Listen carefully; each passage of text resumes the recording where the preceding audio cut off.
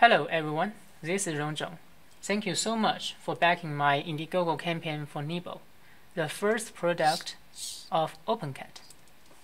Although there's still one month before I ship out the early bird kits, I think it's a good time to start documenting some of the instructions. I'm also taking some time to document and comment the code on GitHub, but it takes time. Today I'm going to show you how to assemble Nybble's head. Warning here, if you are always a puzzle solver and want to figure out every pieces by yourself, then just turn off this video. You already know that Nybble is made from laser cut pieces, so they are all flat pieces. How to make 3D body from flat pieces. It's extremely hard because you cannot screw into the wood from the side. You will break the fibers. Now take a look at this head without the ultrasound sensor in it. It's easier to see all these structures.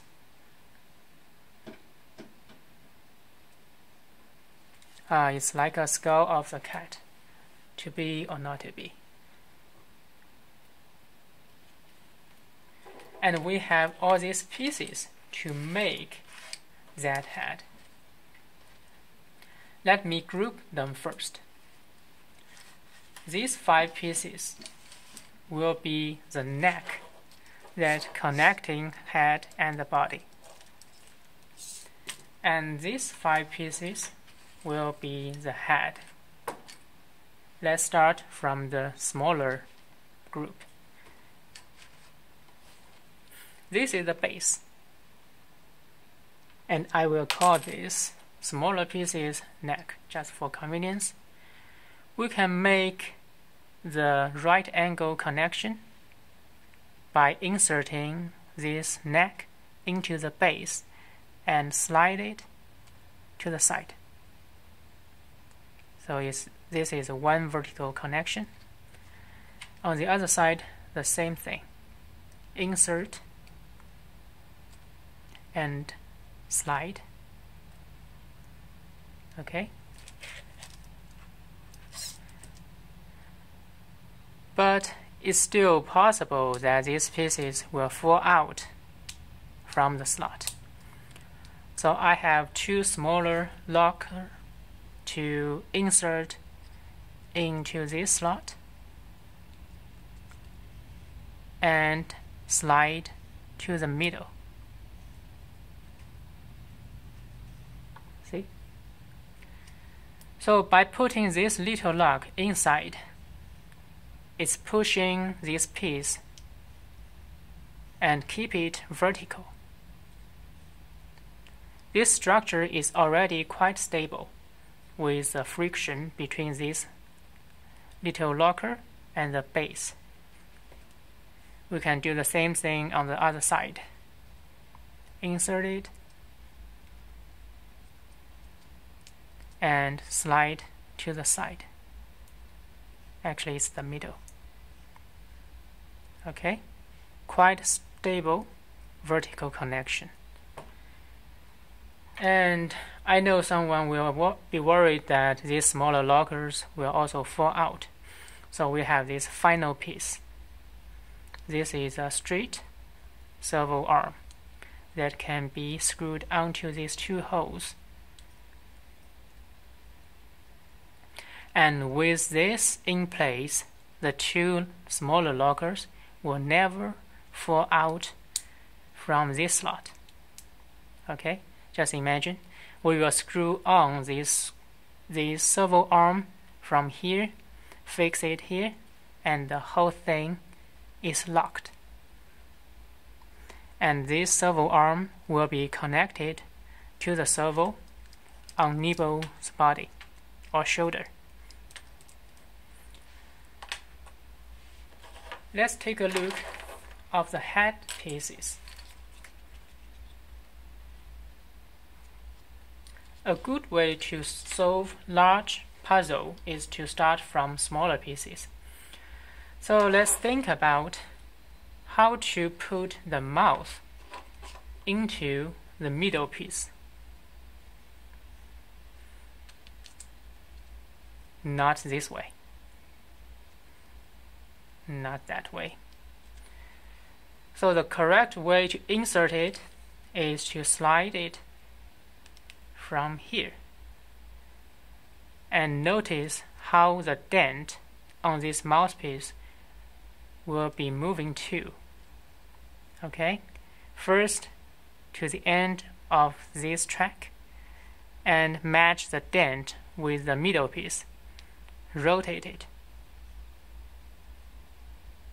and push it up. Okay? The second piece will be the eye. This is easier just to push it into this dent and push it forward from the bottom.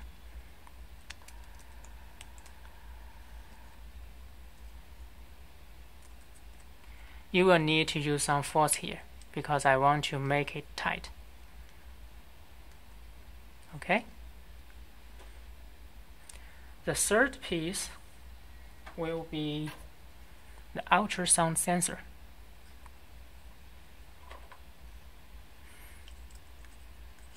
You will bend the pins in this direction to allow the connectors later. Just insert it okay third piece could either be this one or this one now the tricky thing is happen. Is happening because you cannot insert it in this way. It's too long here. What about in this way? Still too long, but if you remove the mouthpiece, then it's the right dimension to allow the air to be slide to the other side and to be inserted in this way later. Okay, so since the air has been passing through the middle piece, we can put back the mouth. So far so good. And we can insert the eye now, like this. Everything is possible to get off their positions, right? So we need a lock from the bottom. slide it through this slot. Notice this little tab. It will be inserted to the dent on the mouthpiece.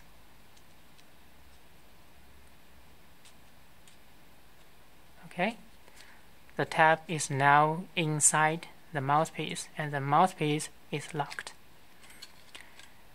The top surface is also pushing the eyepiece so it will not be able to rotate in this direction. Now we push the earpiece, slide into the two tracks. Okay, so the earpiece is pushing the ultrasound forward. The ultrasound is locked. So with the current setup, the only thing that may break the whole structure is if the earpiece will be dropping from here, right? So we will have our last lock, the servo. This servo has a wire, so I have a wire organizer here. This is a dent to allow the wire to go through and slide the servo into this big slot on the middle piece. The dimension is very, very critical. It's just the right size to allow it into the middle slot. Okay, push it. The servo is pushing the earpiece forward and the earpiece and the bottom piece is locking everything in place. This is already quite stable. To enhance this structure, you just put two screws here and here to finally lock everything.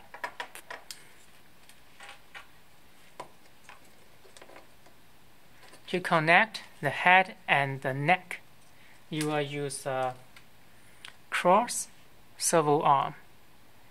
Screw it onto one side of the neck, trim the extra arm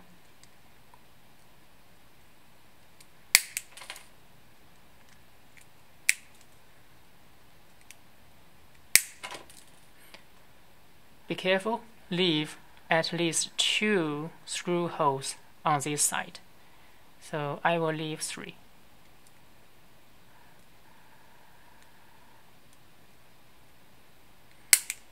Okay.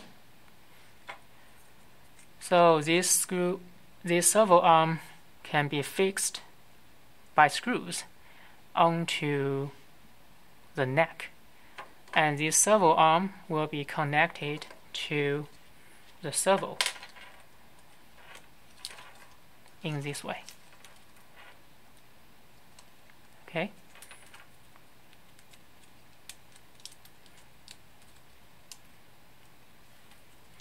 Now the whole head and neck group is fixed. Don't forget that you have this lock, you need to screw onto it, and the whole thing will be mounted to the body like this.